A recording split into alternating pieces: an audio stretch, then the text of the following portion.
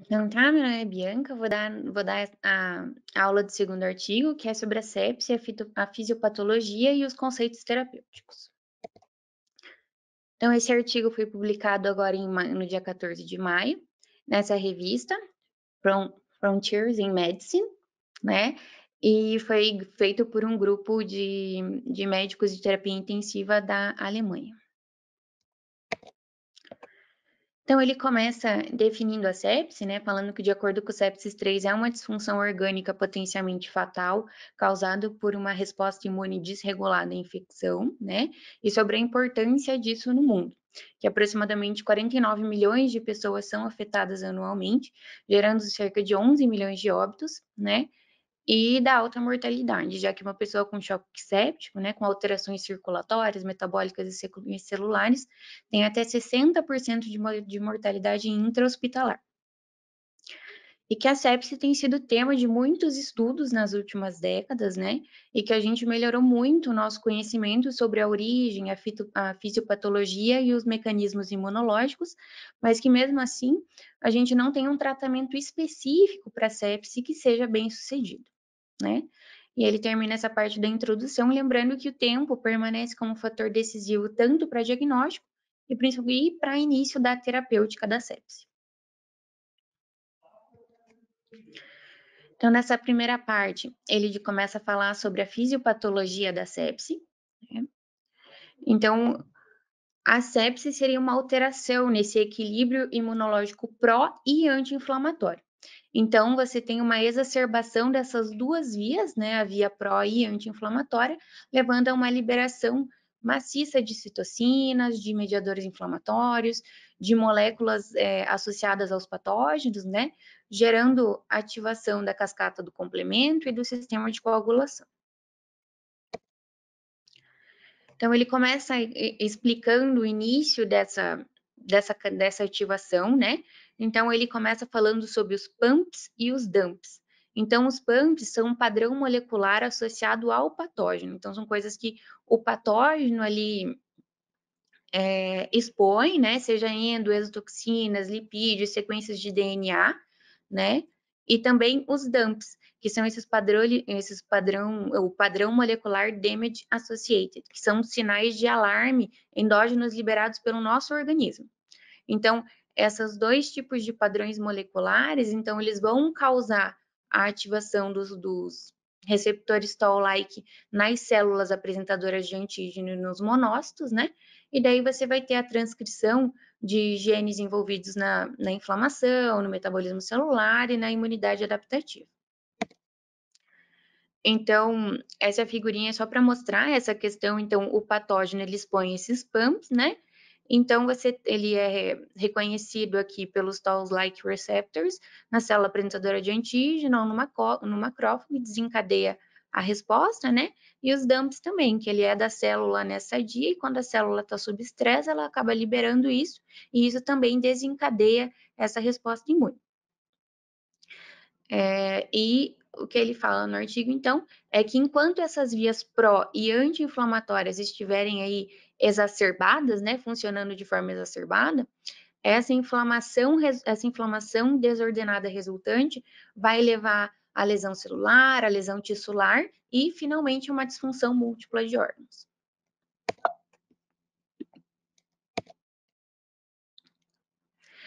E em muitos pacientes, essa ativação é, anti-inflamatória exacerbada vai levar a uma imunossupressão, né?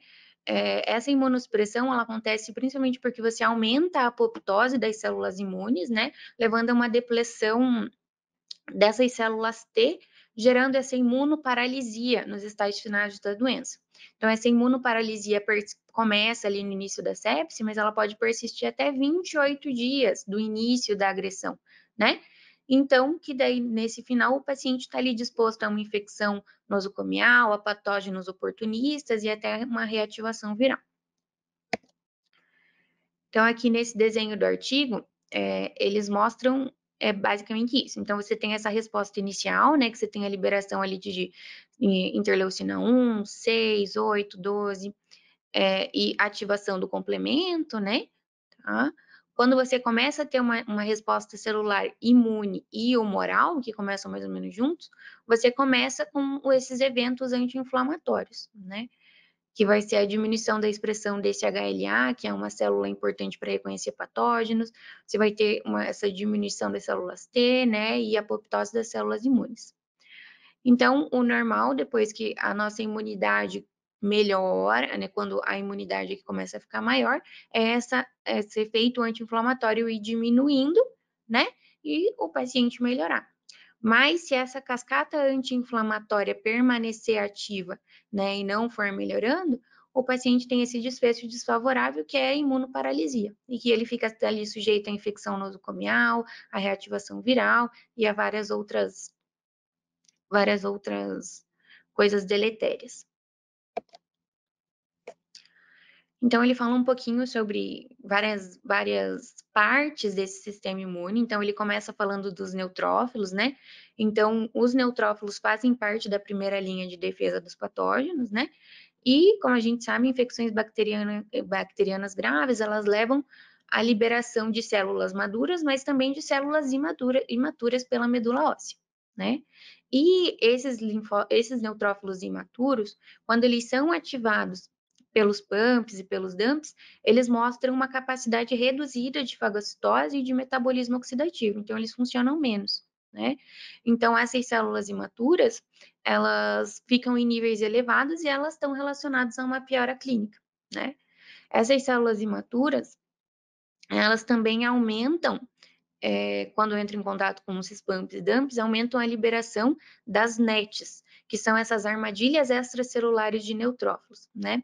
Essas armadilhas extracelulares, elas são liberadas, elas são estimuladas por a serem liberadas da célula por várias por vários motivos, por citocinas, por é, por agentes plaquetários, por anticorpos, e essas são estruturas extracelulares de cromatina, né, e de proteínas do núcleo, né? Que eles então são jogados para fora do, do neutrófilo, né? E eles, teoricamente, e eles, né, num jeito saudável, eles servem para imobilizar ali uma ampla gama, uma ampla gama de patógenos, né? Mas o que acontece na sepse, devido a essa desregulação, é que essas NETs são produzidas de superproduzidas, né, ou não são degradadas.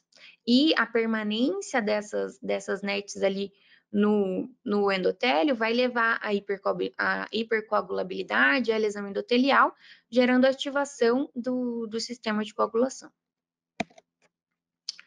Então, ele usa isso para falar da coagulopatia induzida pela sepse. Então, a coagulopatia induzida pela sepse, ela é um, ela ocorre devido a uma ativação sistêmica da coagulação com uma supressão da fibrinólise, né? Então, ele fala, ele fala que quando ela é induzida pela sepse, né? Então, você vai ver que você tem uma disfunção orgânica, você tem uma queda na contagem das plaquetas e um aumento do RNI, né?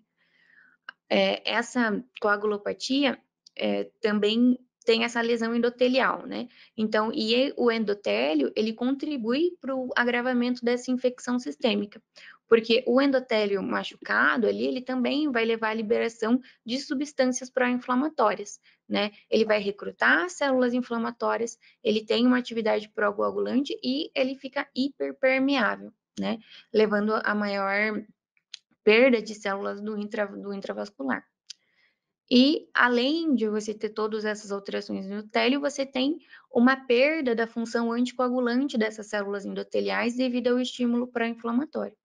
Então, é, a, ele tem uma diminuição da trombomodulina e do sulfato de heparina da superfície celular, né? Levando a aumento da, da coagulabilidade e um aumento na expressão do fator tecidual é, na, no endotélio, levando à ativação da cascata de coagulação.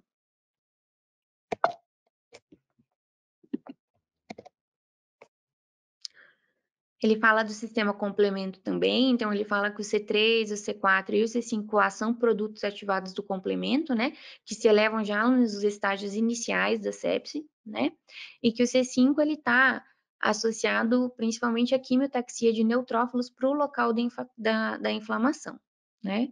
Então, após a ligação ao C5, esses neutrófilos eles evoluem para células migratórias, né, com uma habilidade de entrar no tecido inflamado e remover o, os patógenos e os debris celulares, né?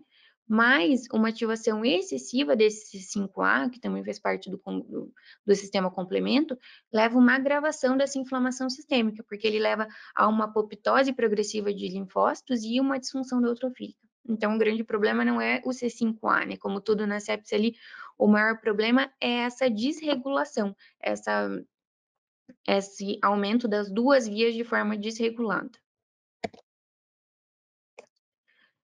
É, então, ele fala também da imunossupressão induzida pela sepse, né? Então, ali ele fala dos mecanismos que levou à sepse e algumas coisas, e as coisas ruins que isso geram, como essa imunossupressão. Então, nos estágios, no, já nos estágios precoces, você vê uma depressão das células dos linfócitos B e T, né? Seja por um, um aumento da taxa de apoptose, é, por os linfócitos e também um aumento da taxa de apoptose das células estromais e das células apresentadoras de antígeno. Então, já no começo você tem uma linfopenia, né? Seja por migração dessas células para o tecido, por esse aumento da apoptose, por uma diminuição da produção de linfócitos, já que a medula vai estar tá, é, mais focada em produzir neutrófilos e monócitos, que são mais, são mais prioridade nesse início, né? Você tem uma diminuição desses linfócitos B, então que diminuem é, a produção de citocinas, né? Eles atuam como como células apresentadoras de antígeno e regulam essa resposta imuninata, né? Além de sintetizar esses anticorpos específicos. Então, quando você diminui os linfócitos B, você gera essa imunossupressão. E também por diminuição da expressão do HLA-DR nos monócitos e nas células dendríticas. Então, esse HLA-DR ele é muito importante no reconhecimento dos patógenos. Então, para você conseguir é, fazer a opsonização correta, né, fazer essa, essa, essa resposta imune de forma adequada, a célula tem que estar tá expressando esse HLA-DR, né? E a imunossupressão, quando está nesse estado anti-inflamatório, você tem uma diminuição da expressão desse HLA.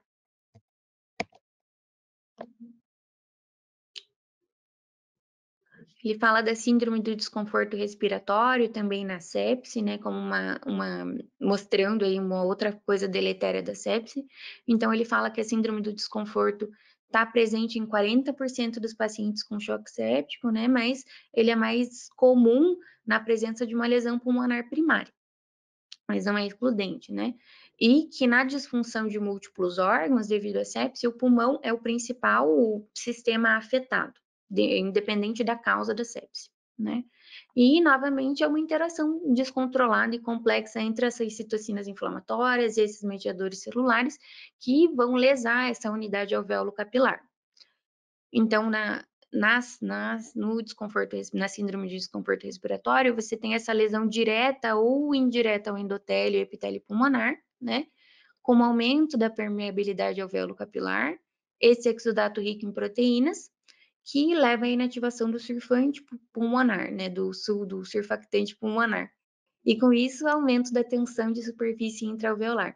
Então, você tem a inativação do surfactante e, ao mesmo tempo, essa cascata inflamatória está levando à lesão dos pneumócitos tipo 2 que estariam produzindo esse surfactante. Né? Então, você tem aumento aí da tensão da superfície intraalveolar, causando microatelectasias difusas, e a a, a que a gente está tá acostumado a ver, né? Porque ele fala que se você começa a tratar essa lesão no início, né? Então, se começa a tratar a sepse no início, ela é uma lesão completamente reversível, né? Mas que quanto mais tempo vai ficando a permanência desse exudato do infiltrado, ele pode levar a um dano irreversível. Também sobre a lesão renal aguda induzida pela sepse, né? Então, fala que durante muito tempo se acreditou que tudo que toda a lesão da a lesão renal da sepse fosse devido à diminuição do fluxo sanguíneo renal, né, e uma necrose tubular aguda.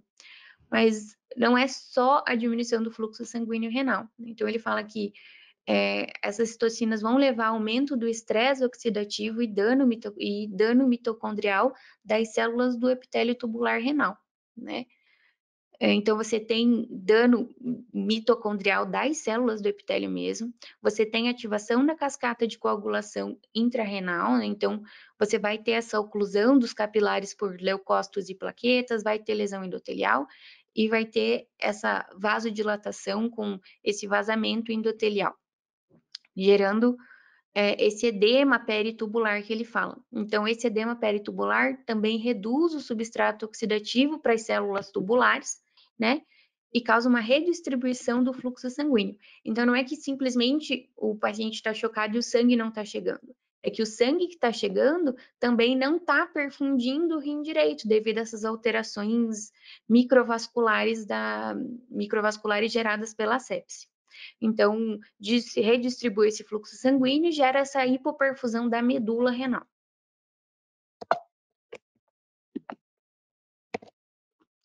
Fala da disfunção cardíaca também, induzida pela sepse, então ele fala que ela é, é principalmente aí causada por três coisas que a sepse vai causar.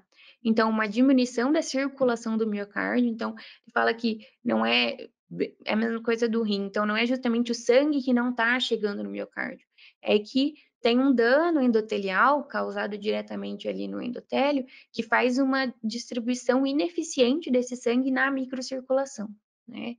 A própria excitocinas, então, causam uma depressão cardíaca direta devido à diminuição da resposta adrenérgica, né, devido à diminuição no, nos receptores beta-adrenérgicos ali do coração, e também uma diminuição da função mitocondrial. Então, é, nível que ele fala que níveis elevados, opa, que níveis elevados ali, tanto de espécies reativas de oxigênio quanto de nitrogênio, eles vão alterar ali a fosforilação, fosforilação oxidativa mitocondrial, né, impedindo a, diretamente a respiração mitocondrial, o que pode induzir a apoptose e outros danos intracelulares, lesando o, o músculo cardíaco diretamente.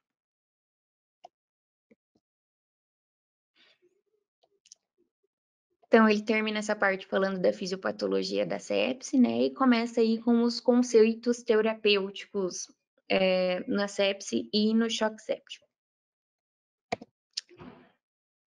Ele fala que a gente tem três tipos de terapia, né, a primeira delas é a terapia causal, né, a terapia adjuvante e a terapia suportiva.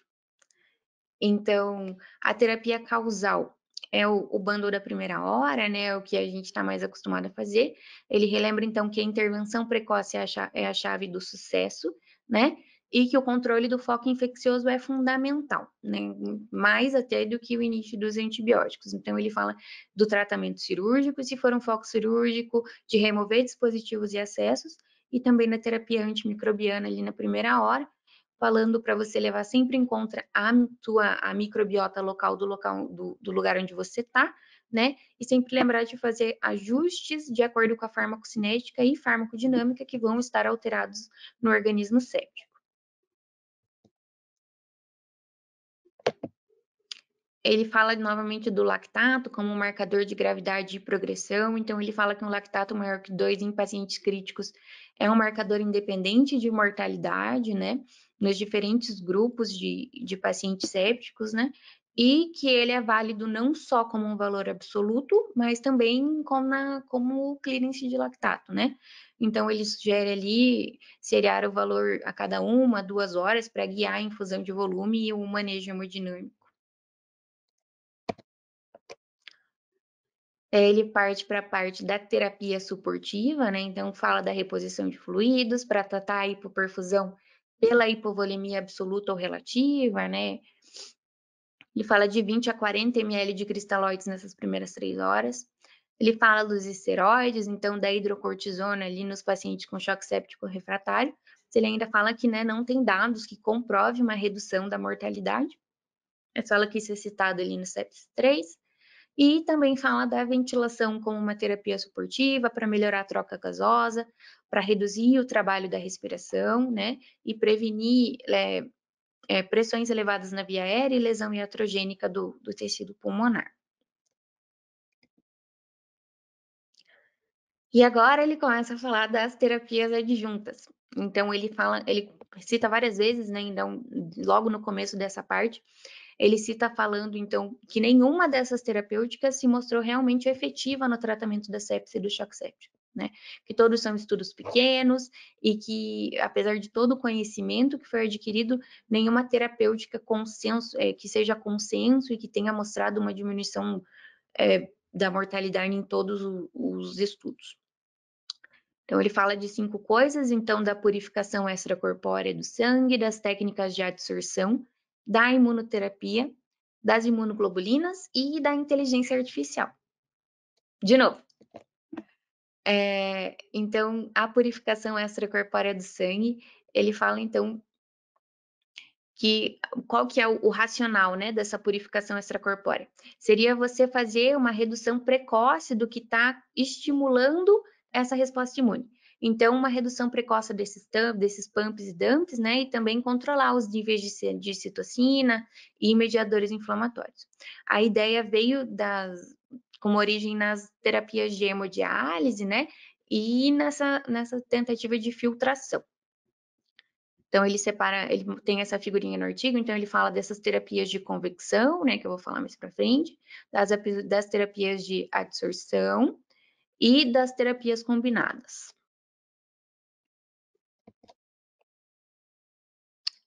A primeira terapia de purificação é essa do High Volume Hemofiltration, que é, é, quando os mediadores inflamatórios eles são removidos da corrente sanguínea por convecção, né? Então, é basicamente um, ele fala que o esquema é bem semelhante a uma hemodiálise, com a diferença que você está fazendo um volume maior, né? Então, ele fala que alguns estudos né, mostram uma melhor hemodinâmica e queda na mortalidade, mas sem alteração aí no índice de oxigênio na severidade do, da doença. Porém, ele fala que são estudos de baixa relevância, com grupos muito pequenos e que nunca conseguiram ser reproduzidos. Ele fala também do, dessa, dessa terapia do high cut-off, que então seria seriam essas membranas com poros maiores. Então, esses poros maiores causariam uma maior eliminação dos mediadores inflamatórios, né?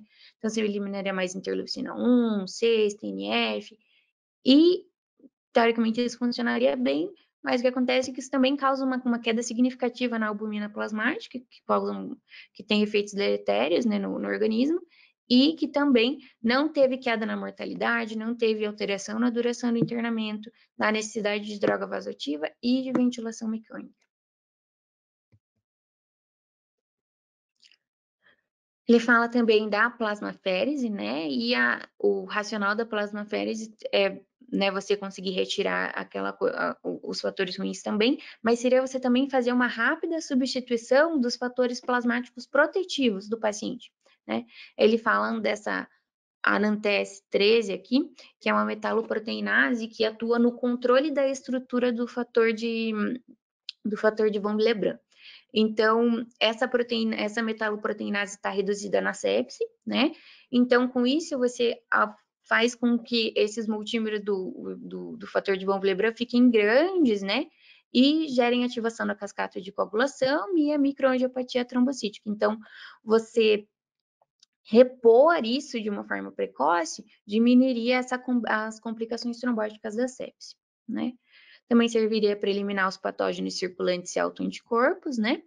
E ele fala de alguns estudos esparsos e pequenos, ele sempre fala que são estudos pequenos, com poucos pacientes, é, que mostraram alguma redução da mortalidade no uso de catecolaminas, mas nunca nenhum estudo grande conseguiu provar isso.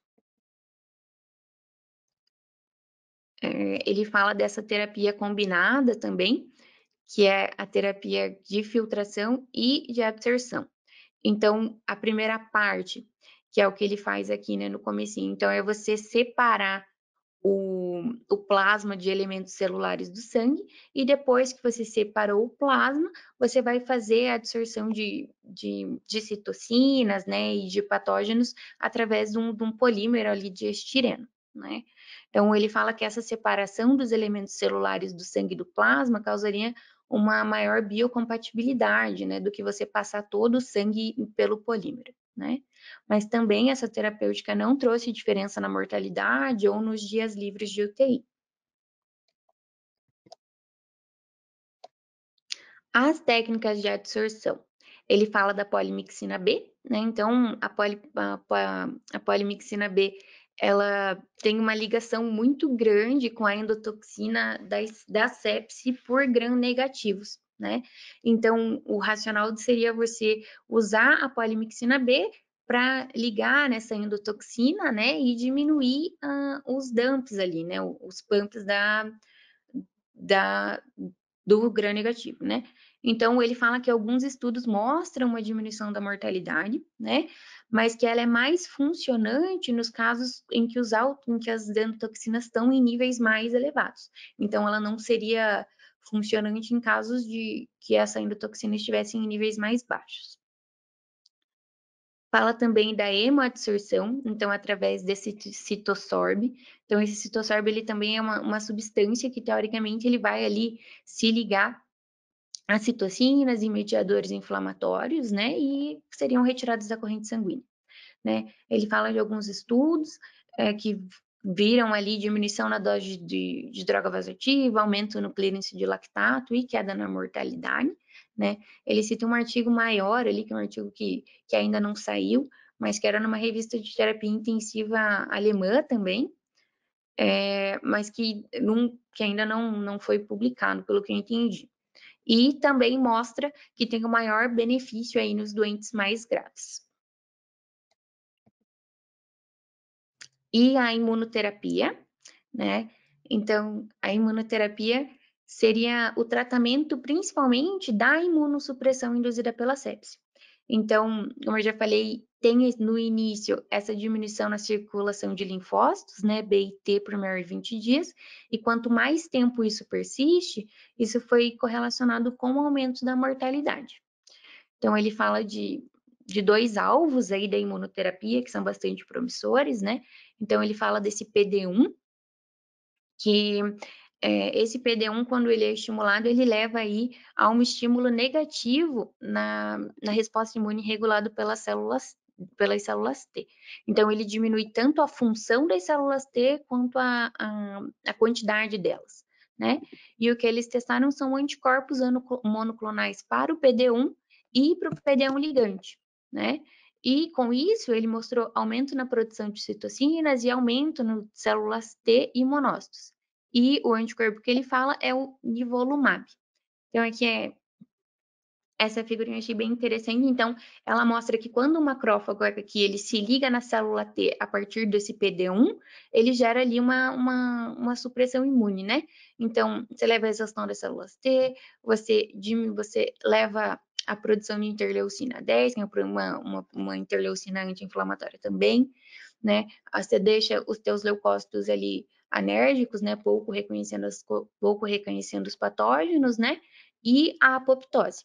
Então, se você quebra isso, você não deixa a célula se ligar com esse PD1, né? A célula ligar nesse receptor, você diminui essa imunossupressão, né? Causando, então, aumento no número dos linfócitos, diminuição na apoptose, maior eficácia dos linfócitos ali na, no reconhecimento dos patógenos. E outra imunoterapia que ele fala também é a interleucina 7, né? Ele fala da interleucina 7 como antiapoptótica, então a interleucina 7 ela vai agir de várias formas, ela pode agir aqui, então, diretamente no timo, levando a um aumento no número absoluto de linfócitos, né? E também aumento no número de CD4 e CD8. Então, aqui mostra que, então, a interleucina 7 aumentando os linfócitos, né? Ela também diminui a apoptose celular, então, ela impede essa primeira apoptose. Ela gera é, ela pega essa célula T que já está ali não funcionante e reativa essa célula T, levando a presença de interferon gama e levando a um, um macrófago mais funcional, né?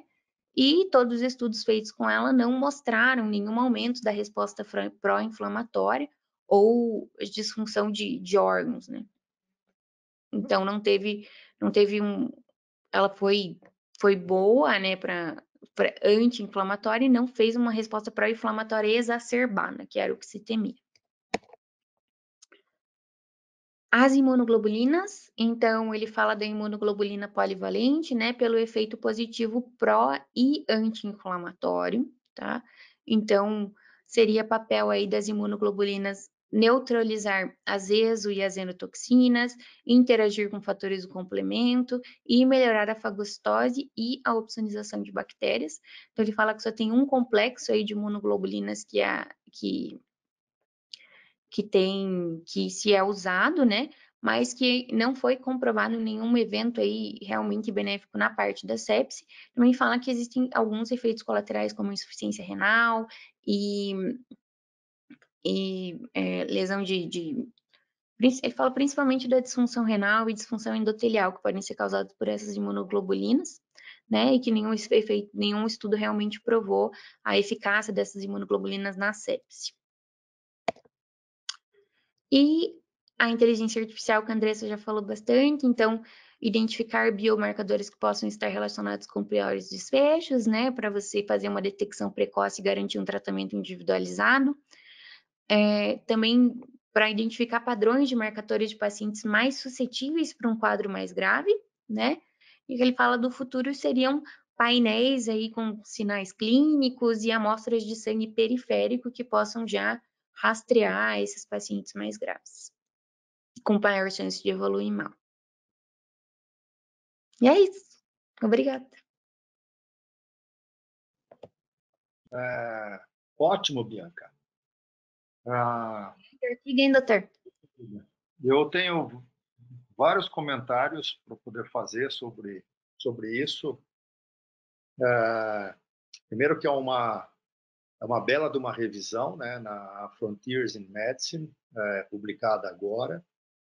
É, são mais de 20 páginas. Então, fazer um resumo dessas 20 páginas e de uma coisa tão complexa né, como é a, fisiopatologia da sepse, a terapêutica é, relacionada com essa fisiopatologia, como propõe o artigo de uma forma bonita, é, não foi fácil, mas deu para poder compreender muito bem e, e obrigado pela tua apresentação. Estamos aí à disposição. Eu, antes de eu comentar alguma coisa, queria ouvir um pouquinho vocês. Glória, tudo bem, Glória? Está quietinha? Faz tempo que você não faz pergunta. Pois é. Não, Acho que a Bianca destrinchou muito bem o artigo, um desafio, um artigo de 22 páginas, falando de fisiopatologia, um tema super complexo, envolveu várias coisas na apresentação, acho que ela falou muito bem. Não tenho nenhuma pergunta, na verdade, eu gosto bastante dessas aulas de fisiopatologia, porque o doutor sempre tem muitas coisas para acrescentar, né? É algo mais conceitual. Enfim, acho que no meio do caminho aí, conforme foi falando, vão surgindo algumas questões mais práticas relacionadas ao que a gente vê na, no nosso cotidiano. Então, acho que para agora eu não tenho nada para perguntar mesmo. Parabéns, Bianca. Mandou bem. Obrigada. Karina, João, Renan. Oi, doutor. Oi, Karina, tudo bem? tudo bom? Bom, a Bianca foi brilhante aí, né, no, no artigo. Eu acho que sempre voltar aí para fisiopatologia é, é importantíssimo. E, e, quando você tem bem essa fisiopatologia como entendimento, aí fica muito mais fácil você tomar decisões.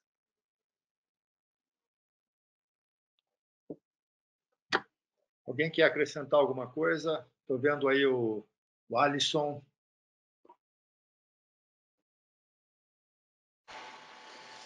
Oi, doutor. Então, eu acho que é o que a Glória comentou. Eu acho que de tempos em tempos, eu acho que a gente precisa valorizar. Eu acho que artigos de fisiopatologia. É, hoje até eu estava conversando com a Carol e tendo um feedback aí do final do estágio. Eu acho que de tempos em tempos, eu acho que é bom a gente voltar para a teoria e voltar para o básico. É, eu acho que a gente acaba é, sendo a nossa especialidade tão complexa, a gente acaba esquecendo de pontos muito específicos que eu acho que são a teoria. E a gente voltando para esses artigos que sejam relacionados à fisiologia ou à fisiopatologia, eu acho que isso traz com que a gente esteja esses conceitos bem fundamentados. E a aula da, da Bianca foi bem completa, eu acho que a gente teve uma base bem, bem importante aí de imunologia, de terapêutica, de é, uma abordagem bem ampla, bem complexa. Eu acho que eu não tenho dúvida, eu acho que foi muito boa aula mesmo. Então, o que eu, o que eu posso dizer para vocês, primeiro que tenham esse artigo aí como, assim, é, ele, ele, é intransferível, não dá para poder todos vocês não lerem, né? É, é uma bela de uma, uma, forma de poder se atualizar nos aspectos conceituais é, relacionados com a sepse. É, não é completo, né? Ele é um, uma uma fisiopatologia muito relacionada com a atividade pró-inflamatória e a atividade anti-inflamatória. É, a, sepse, na verdade, tem três grandes vertentes no mecanismo fisiopatológico. Tem um mecanismo da pró-inflamação, tem um mecanismo da pró-coagulação e tem o mecanismo da, do distúrbio hemodinâmico né, que leva à hipoperfusão e à hipóxia tecidual. Né? É, esta vertente que faz com que vocês, quando pensem em sepse, pensem no, no volume, é, 30 ml por quilo de peso, é, no lactato, na droga vasoativa, no débito urinário, ele tem a vertente da gente controlar é, aquilo que está mais bem definido, que a gente pode manipular na, na beira do leito, que é evitar é, a hipóxia tecidual ainda de forma precoce ou tratá-lo o mais rapidamente possível. Né? Mas sepse é fundamentalmente uma doença microbiológica com consequências inflamatórias e pró-coagulantes essa atividade pró-inflamatória e pró-coagulante da fase aguda, a gente não tem tratamento para ela, exceto identificação precoce, antibiótico o mais rápido possível. Ah, ah, é, é isso que controla que aquela cascata de eventos pró-inflamatórios e, posteriormente, a atividade anti-inflamatória é, aconteça. Quanto mais precocemente isso for identificado, mais anti-inflamatório é o diagnóstico precoce e a administração precoce do antibiótico.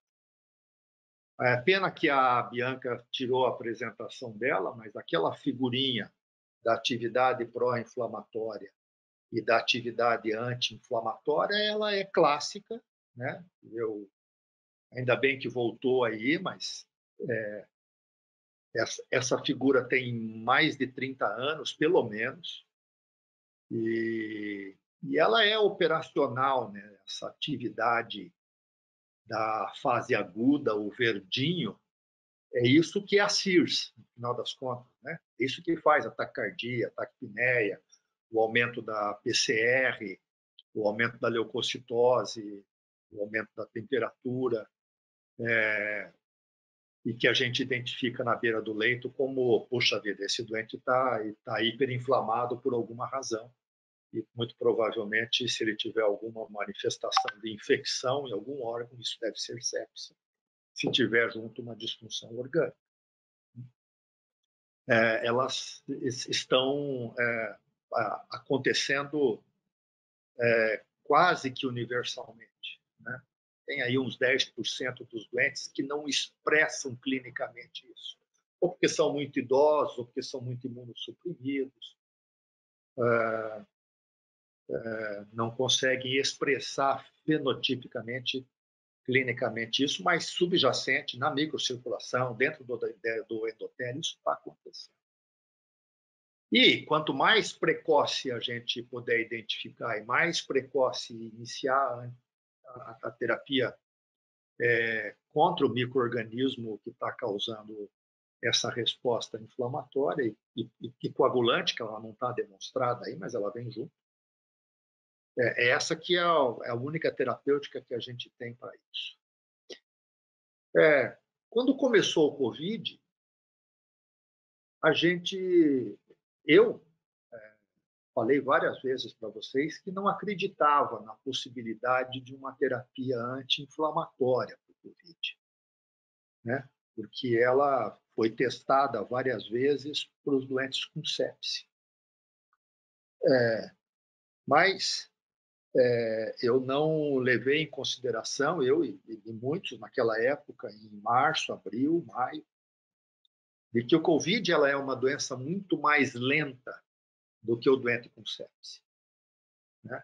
O, o doente com sepse, muito frequentemente, em 6 horas, em 12 horas, em 24 horas, ele apresenta esse pico de atividade inflamatória é, e logo depois ela tem uma cascata de eventos que vem posteriormente que já não depende mais do elemento incitante inicial. Né? Então, é, continua sendo improvável que a gente consiga uma, uma terapia que possa controlar essa atividade inflamatória tão precocemente.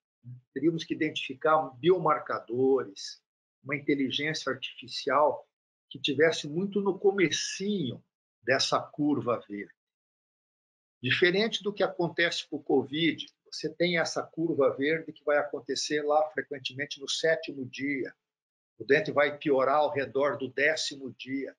Então, você tem uma janela de, de, de, de tempo né, que acabou se demonstrando que bloqueador de interleucina, bloqueador da JAK1, da JAK3, é, e muito provavelmente outros anti-inflamatórios, acabam atuando, coibindo aquela resposta inflamatória dentro do pulmão.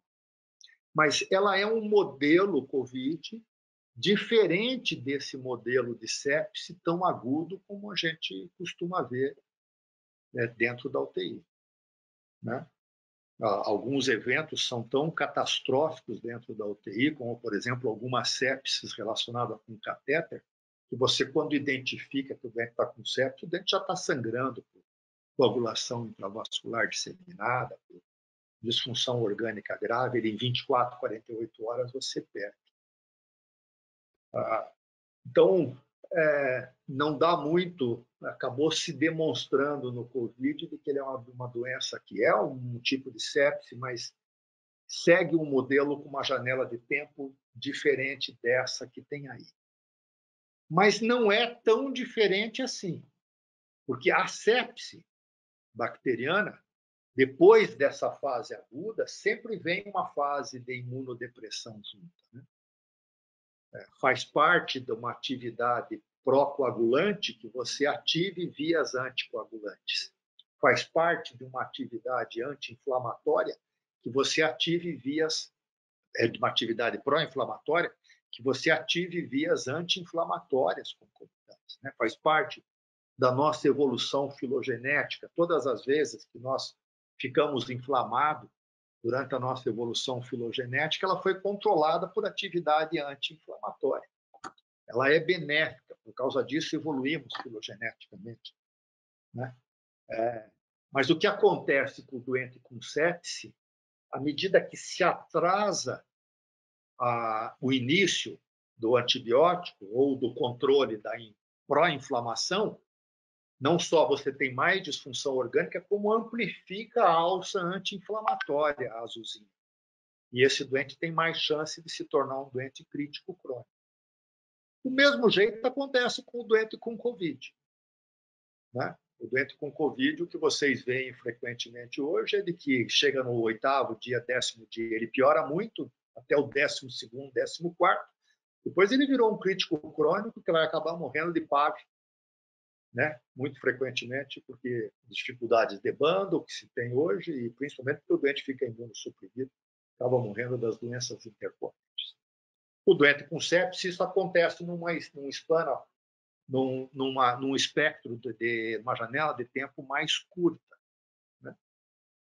Ah, mas é fundamentalmente é o que acontece. Eu ah, acho legal aquelas tentativas que a, a Bianca apresentou no final da apresentação dela, das tentativas de modular respostas inflamatórias, e que provavelmente a resposta para a sepse ela não está necessariamente na controle da pró-inflamação.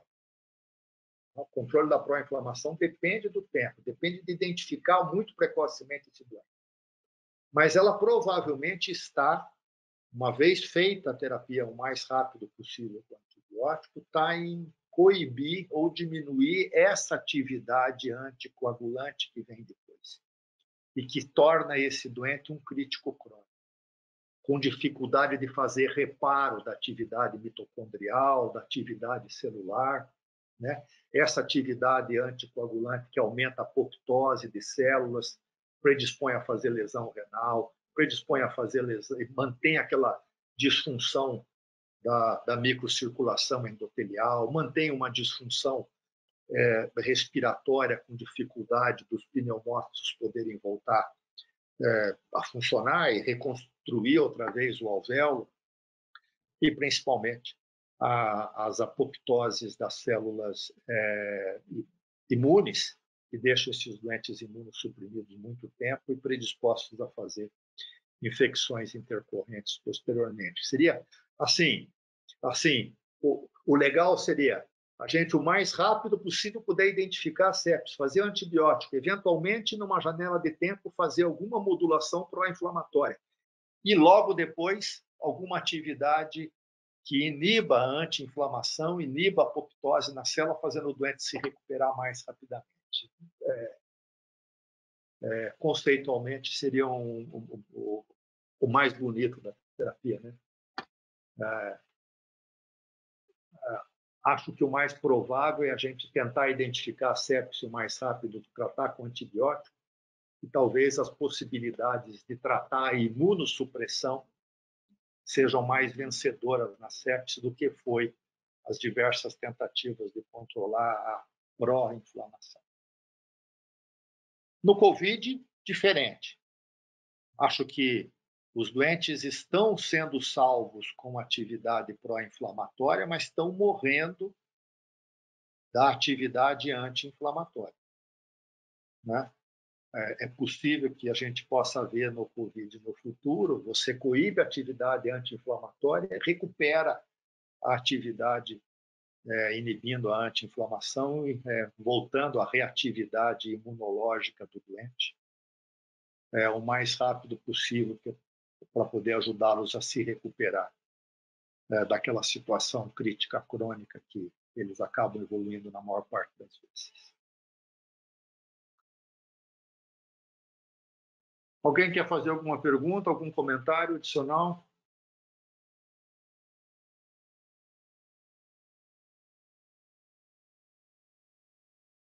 É isso? João? Orlando? Ana? Oi, doutor. Falou alguma coisa? Oi. Algum comentário? Oi, doutor. Está me ouvindo? Estou te ouvindo. Bem, pode falar. Ah, beleza. É, não, então, é, na verdade eu ia comentar desse gráfico aí que, que acabou o senhor mencionando antes mesmo. É, é o protótipo né, da inflamação e anti-inflamação, falando sobre o CARS, né, e depois que realmente o que vai desencadear no final das contas a PICS, né, os pacientes com PIC. Pix depois. E Legal. assim, essa parte de anti-inflamação acho que realmente é bem pronunciado nos pacientes COVID e é uma tristeza, né, que pacientes com sepsis não COVID, essa janela é muito menor, né, onde parece que essas curvas todas, esse gráfico, elas ficam mais estreitas, assim, né, elas, elas não têm esse tempo todo que a gente acaba observando com os COVIDs, mas, e a gente acaba perdendo espaço, por exemplo, né, o tocilizumab, ali, né, ele é muito mais focado num controle anti-inflamatório, né? Ele não deixa o corpo estourar essa, essa anti, a inflamação e encurta, ao meu ver, pelo menos que eu consigo entender, que esse gráfico, a curva azul, né? Ela fica um pouco mais compensada, que ajuda depois o paciente a voltar para a homeostase, né? Que seria mais prudente, o melhor para a recuperação dele. Só que na sepse realmente é isso, é questão de é questão de horas, infelizmente, onde se fosse colocar talvez no tempo, né, a janela que você tem que fazer o, o tempo inicial do antibiótico seria coincidente com a janela que você tem que fazer uma droga anti-inflamatória, que daí acaba não, não surtindo tanto efeito, né? E essas terapêuticas que a Bianca apresentou, é, tive a impressão, pelo menos nesse, nesse, nessa, nesse artigo, que realmente o foco, né, que não mostrou resultado é porque focava muito na parte de inflamação, só que a inflamação é necessária, né? Não adianta você tirar uma modulação da inflamação, porque é o que vai, vai fazer o, o doente sair vivo no final das contas. E sim o que você vai ter depois, né? O importante é a gente atuar depois. Ok, inflamou? Perfeito, excelente. Mas e agora que ele inflamou? Como é que eu posso controlar a desinflamação dele, né? Como é que eu começo a puxar o freio de mão para que ele também não perca o controle do carro, né? Depois. É, acho que essa é a, assim o sonho, né, da imunomodulação, né? né? Você cuidando do doente quando está demais, você faz alguma coisa contra a inflamação, quando está de menos, você retira aquela inflamação e vai acertando, né? Como se a gente fizesse uma alça de feedback constante, né? Medindo aquilo que está sendo mais deletério para o doente naquele momento e aquilo que ele está precisando de uma forma personalizada no, da forma correta a cada momento. É, isso seria uh, sonho a gente imaginar hoje, né? mas do ponto de vista conceitual é isso mesmo.